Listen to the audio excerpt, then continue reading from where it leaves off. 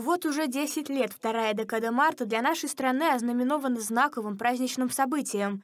В день воссоединения Крыма с Россией на Огарев-арене раскинулись сразу несколько интересных площадок. Первое, что привлекает и знакомит гостей с флорой и фауной полуострова – выставка работ художника Сергея Литкова «Крымская весна». Именно у этой экспозиции дали старт всей акции. Крым и люди, которые там живут, это очень хорошие, позитивные, добрые люди, наши граждане, граждане Российской Федерации. Не только увидеть, но и запечатлеть свое видение. Еще одна небольшая выставка работ, посвященных Крыму, и сам процесс создания полотен в холле Огарев-арены представили студенты Института национальной культуры. Моя работа выполнена в технике гуашью, то есть мазок.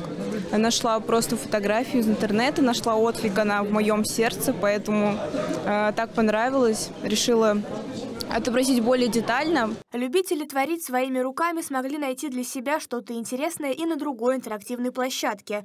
Здесь гости изготавливали оригами и собирали пазлы. Неподалеку от прикладных площадок прошел поэтический флешмоб «Крым-Россия». Уже который год весна меня встречает, даря мне радость, нежность, восхищение. Весна, деревья вновь благоухают, и я вдыхаю новое рождение. Прикрылись горы буйным многоцветием. Весна в Крыму, как изумрудный рай. Цветет земля, не годы, а столетия. И шепчет мне «Живи, не умирай». Также в холле Огарев-арены все желающие смогли сделать памятные снимки в фотозоне, посвященной Крыму. Эта локация пользовалась популярностью, ведь полуостров знаком и любим россиянами. Его возвращение стало знаковым и долгожданным событием современной истории страны. Дарья Боронина, Александр Овчинников. Народные новости.